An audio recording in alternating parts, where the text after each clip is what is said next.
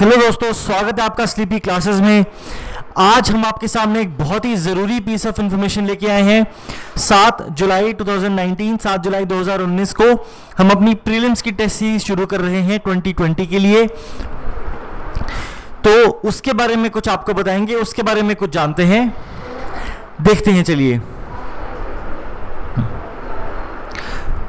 सबसे पहले तो कि टेस्ट सीरीज़ आपको ज्वाइन क्यों करनी चाहिए? टेस्ट सीरीज़ की इंपॉर्टेंस क्या है? तीन पार्ट आंसर है इसका एक्रोनिम इसका हमने बनाया है कैप तो सी क्या है? सी है कॉम्प्रिहेंसिव कवरेज ऑफ़ सिलेबस तो आपके सिलेबस में बहुत सारी चीज़ें ऐसी हैं जो हमें पता है, बहुत ज़रूरी है आपको बताने बट नॉट नेसेसरीली कि हम उसको किसी लेक्चर का पार्ट बना के आपको पढ़ा सकते हैं या आपको बता सकते हैं। कुछ फैक्चुअल चीज़ें हैं, कुछ एक्सेप्शन हैं, कुछ करंट एडिशन हैं, कुछ नई अमेंडमेंट्स हैं। जो ऐसी हैं, इतनी ज़रूरी हैं कि आपको बतानी ज़रूरी है, आपको आनी चाहिए। बट मे बी या तो हम लेक्चर में कन्वेंशनली डिलीवर नहीं कर सकते, या वो लेक्चर ऑलरेडी डिलीवर हो चुका है। तो किसी ना भी, किसी ना किसी रीज़न की वजह से हम टेस्ट के थ्रू आपको वो बताने की और समझाने की कोशिश करते हैं। तो टेस्ट को आप नॉलेज एडिशन समझिए, एक नॉलेज गेन करने का तरीका समझिए।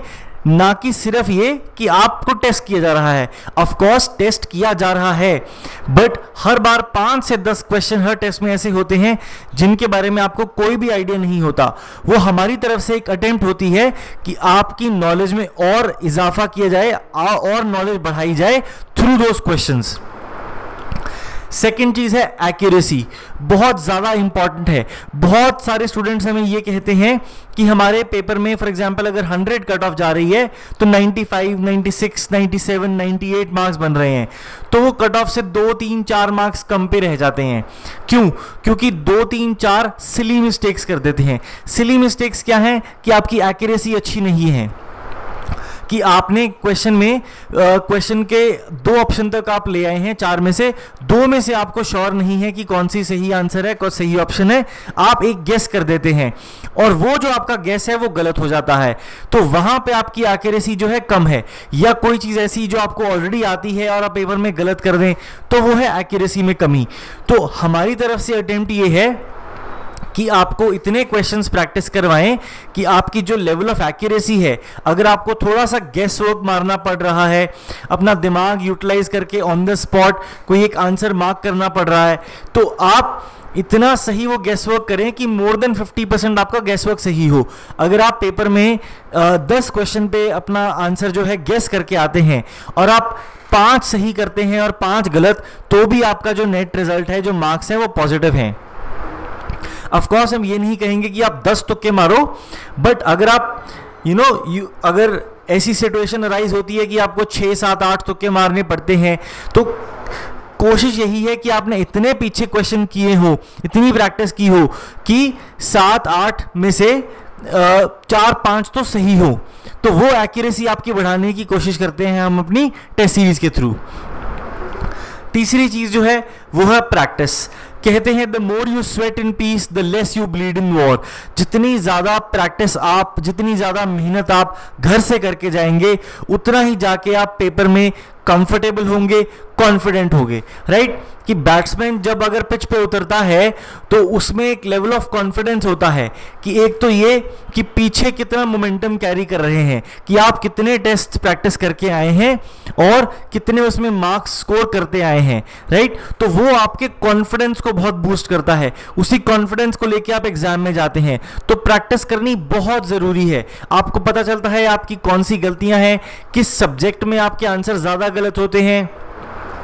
क्या आपकी नॉलेज में वीकनेसेस हैं? क्या आपके क्वेश्चन पेपर को अटेम्प्ट करने के तरीके में वीकनेसेस हैं? सारी आप अपनी गलतियाँ जो हैं, अपनी शॉर्टकमिंग्स हैं, अपने ड्रॉबैक्स जो हैं, वो एनालाइज करते हैं, उनको सुधारते हैं, ताकि पेपर में कम से कम गलतियाँ हो। पेपर में जो चीज़ आपको आती है या जिस चीज़ में आप कंफर्टेबल हो सकते हैं, उसको गलत करने का तो स्कोप ही नहीं बचा है। राइट कि सौ में से जो पचास साठ क्वेश्चन में आप कंफर्टेबल हैं या आपको आते हैं, उसमें तो एक भी क्वेश्चन नहीं गलत होना चाहिए। और वो हम कोशिश करते हैं कि अचीव हो हमारी टेस्ट सीरीज़ के थ्रू कैप कवरेज एक्यूरेसी और practice why you need a prelims test series right schedule क्या है इसका? चलिए स्केड्यूल दिखाते हैं आपके साथ स्केड्यूल शेयर करते हैं। तो फ़र्स्ट फोर टेस्ट जो हैं, वो जुलाई और अगस्त में है और वो 2018 के करंट फ़ेज़ हैं राइट देन अगले जो छह टेस्ट हैं, वो राउंड वन है, जिसमें 2019 के करंट फ़ेज़ हैं प्लस स्टैटिक सिलेबस है सारे सब्जेक्ट्स का। सिमिलरली राउंड टू छः महीनों के करंट अफेयर्स हैं 2019 के और स्टैटिक सिलेबस है। राइट देन राउंड थ्री में करंट अफेयर्स हैं। अब ये करंट अफेयर्स जो है ओपन है। 2019 पूरे साल के कभी भी, किसी भी महीने के करंट अफेयर्स आपसे पूछे जा सकते हैं इंक्लूडिंग जैन या फेब या मार्च ऑफ़ 2020 जब आपसे ये टेस्ट कंडक्ट किया जाएगा। तो पूरे ओपन करंट अफेयर्स हैं प्लस स्टैटिक कंपोनेंट है, उन सब्जेक्ट्स का जिनका स्टैटिक कंपोनेंट थोड़ा बड़ा है। तो तीन राउंड तक चलेगा वो। देन चार टेस्ट हैं हाफ़ सिलेबस के। हाफ़ लेंथ टेस्ट इसमें जैसे हाफ़ लेंथ टेस्ट वन है तो हिस्ट्री पॉलिटी इकोनॉमी है. हाफ़ लेंथ टेस्ट टू है तो ज्योग्राफी इन्वायरमेंट साइंस है. तो सिलेबस आधा आधा डिवाइड कर दिया गया है और उसका टेस्ट लिया जाएगा. देन फिफ्थ अप्रैल को टेस्ट है India year book eco survey और स्कीम्स का.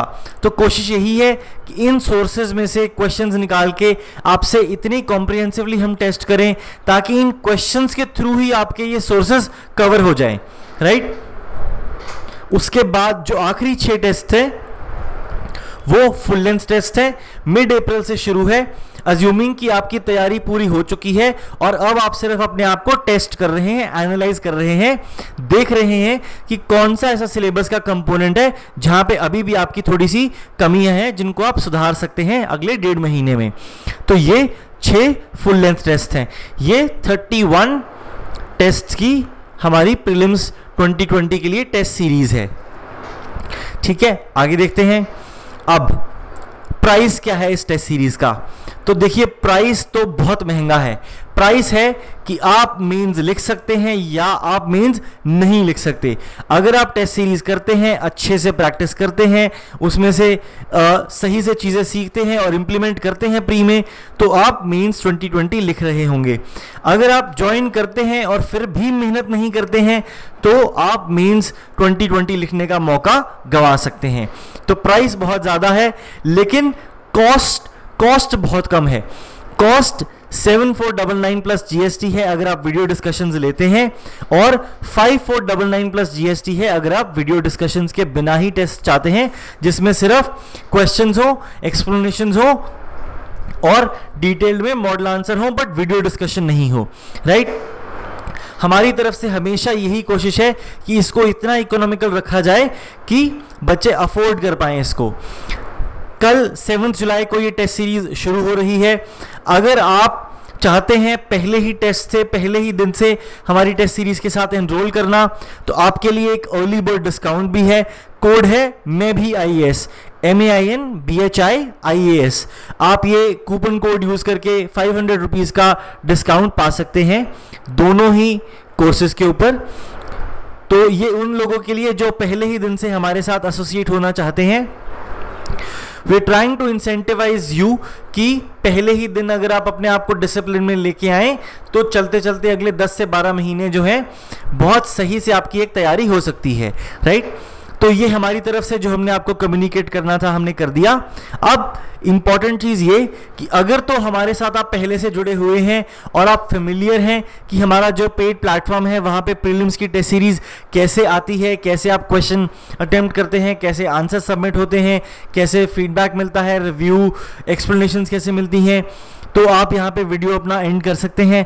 अगर आप नए फॉलोअर हैं, आप नहीं जानते हैं कि हम लोग टेस्ट कैसे कंडक्ट करते हैं तो यहाँ पे आप कंटिन्यू कर सकते हैं और आपके साथ हम डिस्कस करेंगे कि हम अपनी टेस्ट सीरीज़ अपने पेड प्लेटफॉर्म पे कैसे कंडक्ट करते हैं। चलिए वो देखते हैं।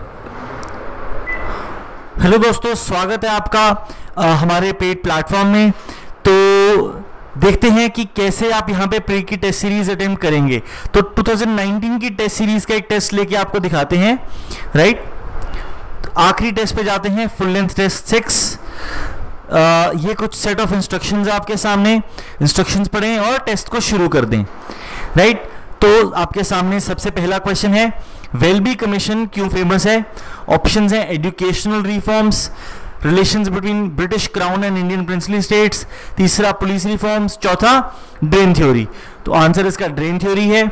सेव एंड नेक्स्ट अगला question Vedaranyam salt Satyagraha march किसने अंडरटेक किया था? गांधी जी पेरियार राजा जी या किलपन? तो आंसर इसका राजा जी है। सेव करें, आगे बढ़ें। मॉन्टेग्यू केम्सवर्ड रिफॉर्म्स पे है, ये आप कुछ भी ऑप्शन मार्क कर दें। आगे बढ़ें then again mark any answer देखते हैं कि क्या गलत है, क्या सही। देन न्यूज़पेपर और एडिटर मैच करने हैं। सुदेश मित्रन जी सुब्रमण्य अय्यर, ठीक है। बंगाली सुरेंद्रनाथ बनर्जी भी ठीक है। सुधारक एन एन सेन नहीं गोपाल कृष्ण गोखले। तो one and two save and next करें।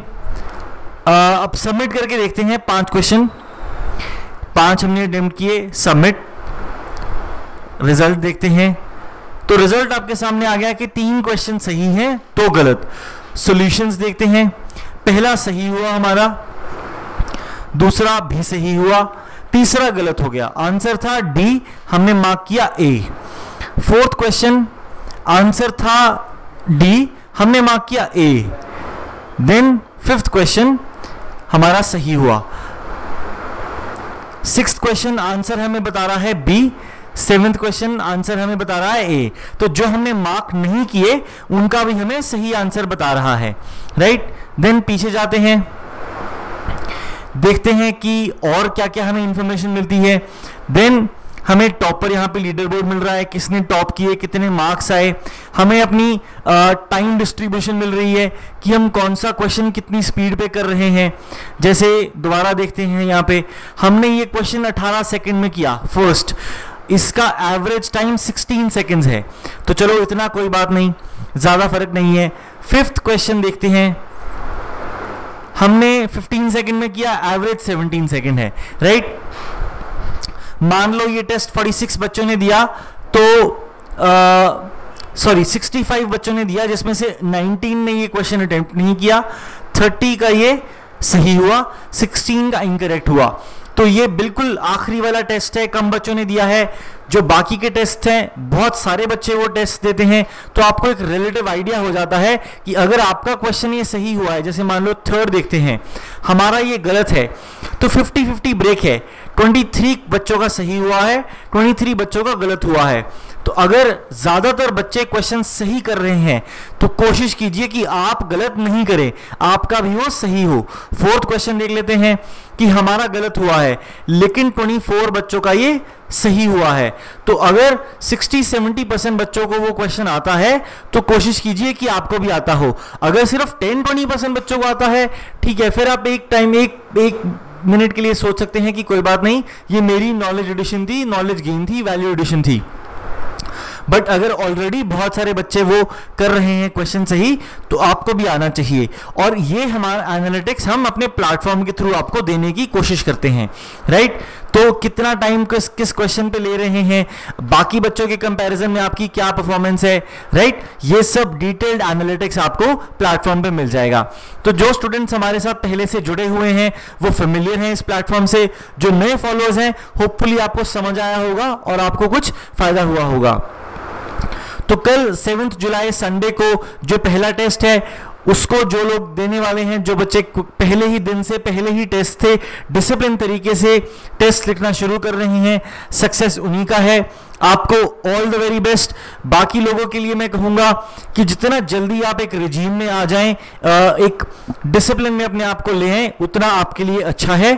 तो कल के लिए all the very best and ये थी हमारी प्रीलिम्स 2020 की आपके सामने डिस्कशन तो आ, आपको आपसे मिलेंगे अब टेस्ट वन के डिस्कशन के साथ. तब तक के लिए thank you and all the very best